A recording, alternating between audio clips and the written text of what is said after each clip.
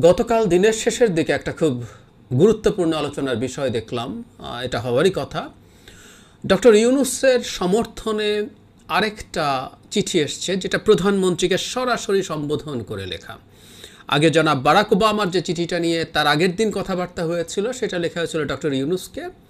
আর এবার লেখা হয়েছে, প্রধানমন্ত্রীকে উদ্দেশ্য করে একশো জন বিশিষ্ট ব্যক্তি, যার মধ্যে একশো জন নোবেল পুরস্কার প্রাপ্ত ব্যক্তি আছেন। কারা কারা আছেন আমি বলব। এবং শুধু ডক্টর ইউনুস না, এখানে বাংলাদেশের বিবাদমান বিচার ব্যবস্থা, বাংলাদেশের নির্বাচন ব্যবস্থা সব কিছু নিয়ে অত্যন্ত কঠোর ভাষায় কথাবার্তা বলা হয়েছে। আসসালামু আলাইকুম, সম্মানিত দর্শক, সকলে কেমন আছেন? একশো ষাট জন বিশ্ব নেতা আমাদের প্রধানমন্ত্রী শেখ হাসিনাকে কঠিন বার্তা দিয়েছে। ডক্টর ইনুস প্রসঙ্গে, এমনকি আগামী জাতীয় নির্বাচন প্রসঙ্গে। এই বিষয়ে অনেক আলোচনা করেছে ডক্টর জাহেদ ভাই। মূলত আমাদের প্রধানমন্ত্রী শেখ হাসিনা, সে কি পারবে এই পশ্চিমা যারা আছে, এই আমেরিকা, বিভিন্ন যে, এই যে একশো ষাট জন বিশ্ব নেতা যে আপনার, আমাদের প্রধানমন্ত্রী শেখ হাসিনাকে কঠিন বার্তা দিয়েছে, তাদের সাথে সংঘাত করে আমাদের প্রধানমন্ত্রী শেখ হাসিনা, সে কি আসলে টেকতে পারবে? আসলে খুবই একটা গুরুত্বপূর্ণ ভিডিও। এই ভিডিও জুড়ে তথ্য দিয়েছে ডক্টর জাহেদ ভাই। বন্ধুরা, আমরা কথা বাড়াবো না, চলে যাব স্ক্রিনে। গতকাল দিনের শেষের দিকে একটা খুব গুরুত্বপূর্ণ আলোচনার বিষয় দেখলাম এটা হওয়ারই কথা। ডক্টর ইউনুসের সমর্থনে আরেকটা চিঠি এসছে, যেটা প্রধানমন্ত্রীকে সরাসরি সম্বোধন করে লেখা। আগে জনাব বারাক ওবামার যে চিঠিটা নিয়ে তার আগের দিন কথাবার্তা হয়েছিল, সেটা লেখা হয়েছিল ডক্টর ইউনুসকে। আর এবার লেখা হয়েছে, প্রধানমন্ত্রীকে উদ্দেশ্য করে একশো জন বিশিষ্ট ব্যক্তি, যার মধ্যে একশো জন নোবেল পুরস্কার প্রাপ্ত ব্যক্তি আছেন। কারা কারা আছেন আমি বলব। এবং শুধু ডক্টর ইউনুস না, এখানে বাংলাদেশের বিবাদমান বিচার ব্যবস্থা, বাংলাদেশের নির্বাচন ব্যবস্থা সব কিছু নিয়ে অত্যন্ত কঠোর ভাষায় কথাবার্তা বলা হয়েছে। ভাষায় স্বাভাবিকভাবেই মানে ল্যাঙ্গুয়েজটা যেরকম তাতে মনে হবে না, কিন্তু কন্টেন্টটা আমি যদি দেখি, আমার কাছে খুবই কঠোর কতগুলো বার্তার কথা বলে মনে হতে পারে।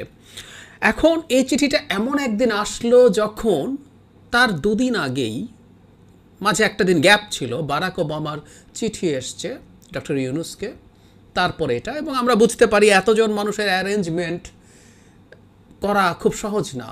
অনেক দিন ধরেই এই চিঠিটার প্রসেস চলেছে এবং নিশ্চয়ই এর মধ্যে উদ্যোগ নেওয়া হয়েছে বা উদ্যোগ নিয়েছেন কিছু মানুষ এবং তাতে এতগুলো মানুষ সব জ্ঞানে স্বাক্ষর করেছেন।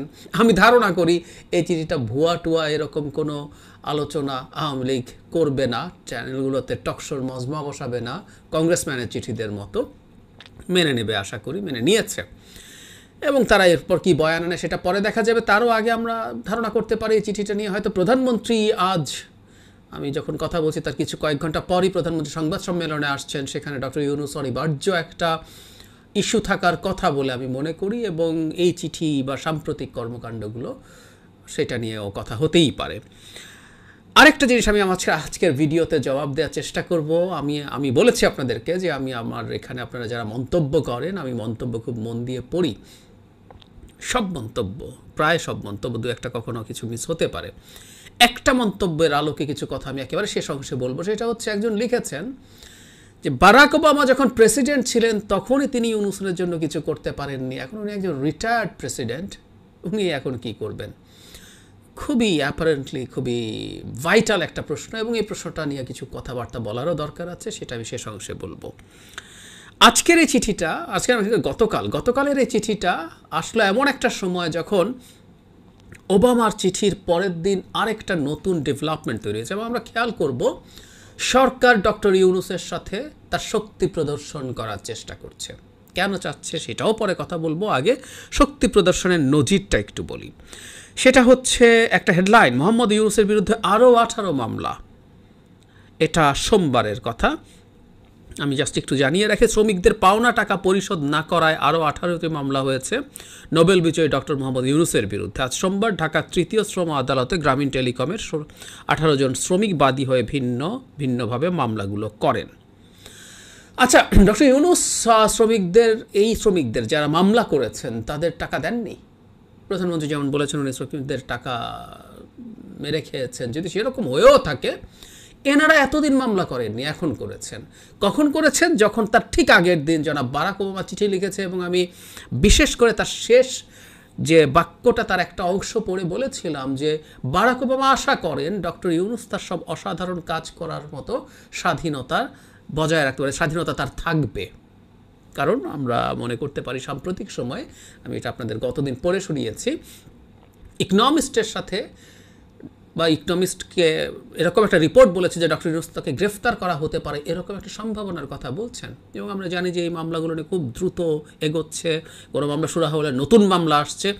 এবং একটা মেসেজ টু ডক্টর ইউনুস যা বারাক ওবামা টোবামা, আমরা বুঝি টুঝি না। আমি এই যে আঠারোটা নতুন মামলা দিলাম এবং সরকার তার শক্তি প্রদর্শন করতে চাইছে। এই প্রেক্ষাপটেই ঠিক একদিন পরে এই চিঠিটা আসলো। যদি আমরা বলছি এটা এটা রিয়াকশান মামলার রিয়াকশান না, এরকম একটা চিঠি আসার জন্য দীর্ঘ সময়ের জোগাড় যন্ত্র করতে হয়। আমি প্রথম আলো থেকে একটু পড়ি, কারা কারা এই চিঠিতে স্বাক্ষর করেছেন? আগেও বলেছি একশো জন নোবেল জয়ী আচ্ছা চিঠিদাতাদের মধ্যে আছেন Barack Obama, Shirin Ebadi Al Gore Tawakkol Karman, Nadia Murad, Maria Ressa, Juan Manuel Santos সহ চোদ্দ জন নোবেল বিজয়ী যারা শান্তিতে, এই চোদ্দ জন হলো শান্তিতে। যাদের নাম বলেছি তারা তো বটেই, সাথে আর মোট চোদ্দ জন। Orhan Pamuk, J M Coetzee সহ চারজন সাহিত্যে নোবেল বিজয়ী। জোসেফ স্টিগলিৎস সহ অর্থনীতি নোবেল বিজয়ী আছেন সাতজন। আমার স্টিগলিৎসকে অনেকেই চিনি, তাই সেই নামটা বলা হয়েছে এখানে। বিশ্বব্যাংকের প্রধান অর্থনীতিবিদ ছিলেন এবং অত্যন্ত গুরুত্বপূর্ণ অনেক বৈশ্বিক ইকনমিক ইস্যুতে আমাদের গুরুত্বপূর্ণ ইনসাইট স্টিগলিৎস দেন। আমি ওনাকে নিয়মিত পড়েছি, চমৎকার অর্থনীতিবিদ। এছাড়াও রয়েছেন রসায়নের আঠাশ জন নোবেল বিজয়ী, চিকিৎসা শাস্ত্রে উনত্রিশ জন, পদার্থবিজ্ঞানে বাইশ জন। এছাড়া জাতিসংঘের সাবেক মহাসচিব বান কিমুন যুক্তরাষ্ট্রের সাবেক পররাষ্ট্রমন্ত্রী Hillary clean- Clinton, sir Richard Branson, Virgin গ্রুপের প্রতিষ্ঠাতা, বিভিন্ন দেশের সাবেক প্রেসিডেন্ট, মন্ত্রী, শীর্ষস্থানীয় ব্যবসায়ী, সামরিক কমান্ডার সহ বিভিন্ন ক্ষেত্রের শীর্ষস্থানীয় ব্যক্তিরা আছেন। মানে পৃথিবীতে নানা ক্ষেত্রে শীর্ষ একশো ষাট জন ব্যক্তি ডক্টর ইউনুসকে নিয়ে স্টেটমেন্ট দিয়েছে। স্টেটমেন্টের শুরুর দিকে একাত্তর সালে স্বাধীনতা দিবস দারুণ অগ্রগতি অগ্রগতি করেছে, আমরা জানি কাউকে খুব শক্ত কিছু কথা বলতে হলে বিজনেস লেটারে আমাদেরকে এটা অনেকেই পড়ানো হয়, আমরা জানি যে আপনাকে শুরুতে কিছু ভালো ভালো কথা, তারপর খুব শক্ত কথা বলা শুরু। অবশ্য সম্প্রতি বাংলাদেশে মানবাধিকার ও গণতন্ত্রের প্রতি যে হুমকি দেখা গেছে তা নিয়ে আমরা গভীরভাবে উদ্বিগ্ন। আমরা বিশ্বাস করি আসন্ন জাতীয় নির্বাচন অবাধ সুষ্ঠু এবং দেশের প্রথম সারির দলগুলোর কাছে গ্রহণীয় হওয়াটা সবচেয়ে গুরুত্বপূর্ণ। বিএনপির কাছে নির্বাচন গ্রহণীয় না হলে সেটা গুরুত্বপূর্ণ মানে ইস্যু এটা গুরুত্বপূর্ণ অ্যাকসেপ্টেবল ইলেকশন হবে না। বিগত দুটি নির্বাচনের বৈধতার ঘাটতি আছে। বর্তমান পরিস্থিতিতে মানবাধিকারের প্রতি যেসব হুমকি রয়েছে, তার মধ্যে একটি আমাদের উদ্বিগ্ন করে তুলেছে। সেটি হলো শান্তিতে নোবেল পুরস্কার বিজয়ী অধ্যাপক ইউনুসের বিরুদ্ধে মামলা। আমরা এ কারণে সংক্ষিপ্ত সম্প্রীতি তাকে নিশানা করা হয়েছে। এর মধ্যে দিয়ে তিনি ধারাবাহিক বিচারিক হয়রানির শিকার হচ্ছেন বলে আমরা মনে করি। স্পষ্ট কথা। আমি বলেছিলাম, ভাষার মধ্যে কোনো গালি গালাজ উগ্র শব্দ নাই, কিন্তু ভাষা খুব কঠোর। বিচারিক হয়রানি। এবং প্রধানমন্ত্রীকে লিখছেন বিচারিক হয়রানি। তার বিচার বিভাগ আলাদা কিছু না। এটা সরকার একটা এক্সটেনশনে পরিণত হয়েছে। এর হিডেন মিনিং কিন্তু সেরকম। তার নিরাপত্তা স্বাধীনতা নিয়ে উদ্বেগ জানিয়ে চল্লিশ জন বিশ্ব নেতা আপনার কাছে যে চিঠি লিখেছিলেন, তার উপরে ভিত্তি করে এই চিঠি লেখা হয়েছে। এটা সম্ভবত এই মার্চ বা এরকম সময় লেখা হয়েছিল। আমরা সম্মানের সঙ্গে আপনার প্রতি অবিলম্বে অধ্যাপক ইউনুসের বিরুদ্ধে চলমান বিচারিক কার্যক্রম স্থগিতের আহ্বান জানাচ্ছি। খেয়াল করুন। এরপর আন্তর্জাতিকভাবে আইন বিশেষজ্ঞ হিসেবে স্বীকৃত ব্যক্তিদের নিয়ে একটি নিরপেক্ষ বিচারক প্যানেলের মাধ্যমে তার বিরুদ্ধে যেসব অভিযোগ হয়েছে, সেগুলো পর্যালোচনা করা হোক। সোজা সাপটা কথা বাংলাদেশের আইন এবং বিচার বিভাগের ওপরে ন্যূনতম কোনো আস্থা না দেখিয়ে তারা বলছেন, একদম নতুন করে আন্তর্জাতিকভাবে স্বীকৃত এবং নিরপেক্ষ বিচারক প্যানেলের মাধ্যমে তারা এরকম করতে হবে। আমরা আত্ম, এই বাক্যটা খেয়াল করি, আমরা আত্মবিশ্বাসী যে তার বিরুদ্ধে দুদক ও শ্রম আইনে যেসব মামলা চলছে, সেগুলো পর্যালোচনা করলে তার দোষ খুঁজে পাওয়া যাবে না। যারা চিঠি লিখছেন, সত্য মিথ্যা আপনারা তর্ক করতে পারে, কিন্তু এই একশো ষাট জন ব্যক্তি তারা বিশ্বাস করেন, ঠিকঠাক মতো জুডিশিয়াল প্রসেস তদন্ত সব কিছু যদি ঠিকঠাক হয়, তাহলে তার দোষ খুঁজে পাওয়া যাবে না। মোদ্দা কথা, ডক্টর ইউনুসের উপরে সরকার যা করছে সব কিছু স্রেফ হয়রানি করা হচ্ছে। একেবারে সোজা সাপটা চাঁচা ছোলা ভাষায় বলেছে। একদম, এই যে বলছি, ভীষণ কঠোর ভাষা।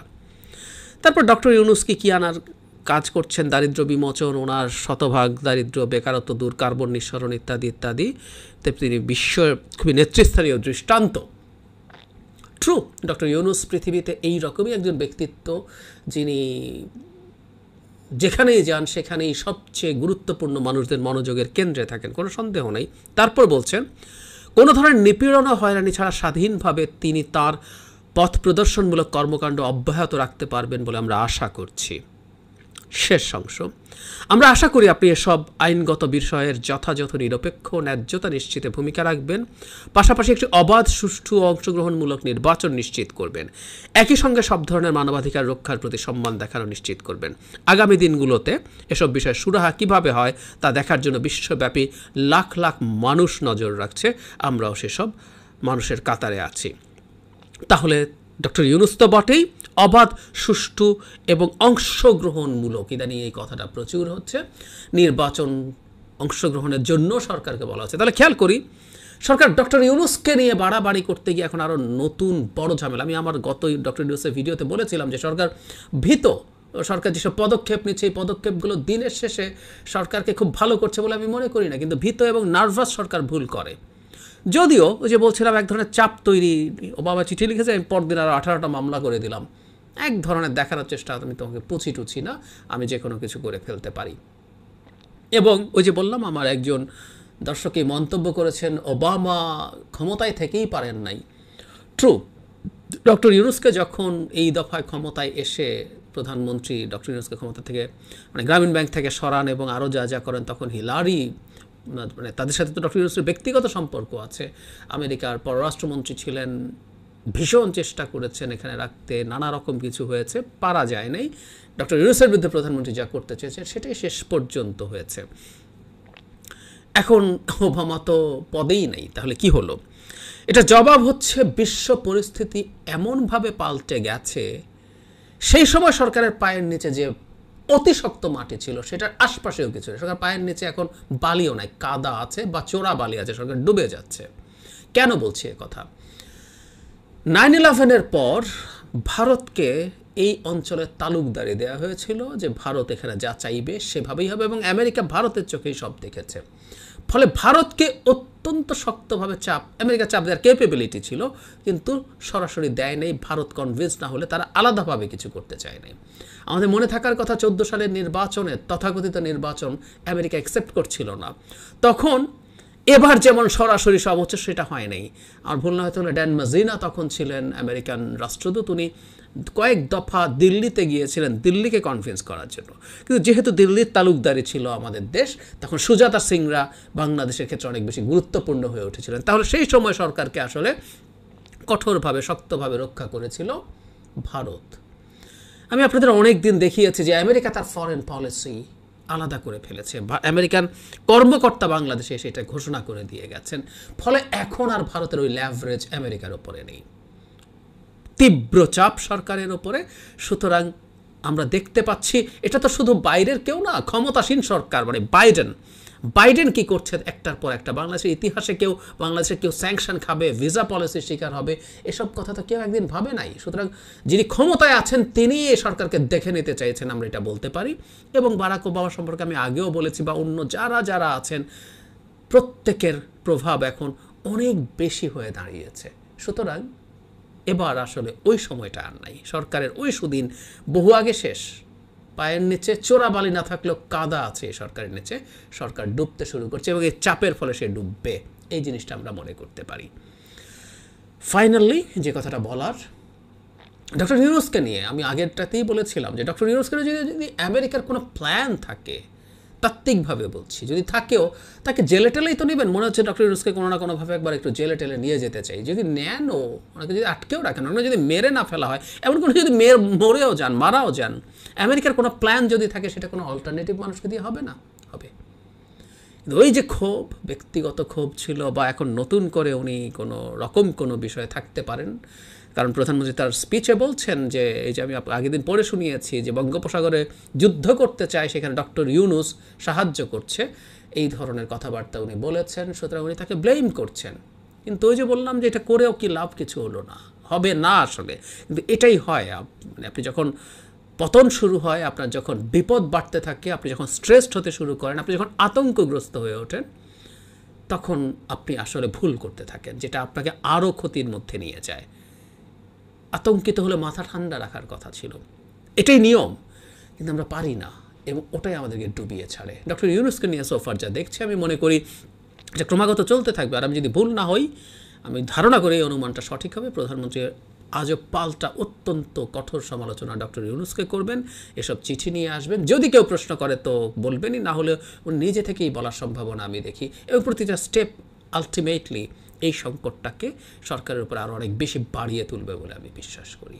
সম্মানিত দর্শক, ডক্টর জাহিদ ভাই যে আলোচনা করেছে, আমরা দেখতে পেয়েছি আমাদের প্রধানমন্ত্রী শেখ হাসিনাকে যে বার্তা দিয়েছে, একশো ষাট জন বিশ্ব নেতা এই সম্পর্কে অনেক আলোচনা করেছে। মূলত এই আগামী জাতীয় নির্বাচন নিয়ে এই যে বিদেশিরা যেভাবে চাপ দিচ্ছে পশ্চিমারা আমাদের প্রধানমন্ত্রী শেখ হাসিনাকে, সেটা আমরা সকলে জানি, মূলত তাদের সাথে সংঘাত করে আমাদের প্রধানমন্ত্রী শেখ হাসিনা কতটা টেকতে পারবে, এই বিষয়ে তো সে অনেক আলোচনা করেছে, বিশ্লেষণ দিয়েছে। আপনাদের যদি কিছু বলতে ইচ্ছা করে, অবশ্যই আপনারা মেসেজ করে জানাতে পারেন। ভালো থাকবেন, আসসালামু আলাইকুম।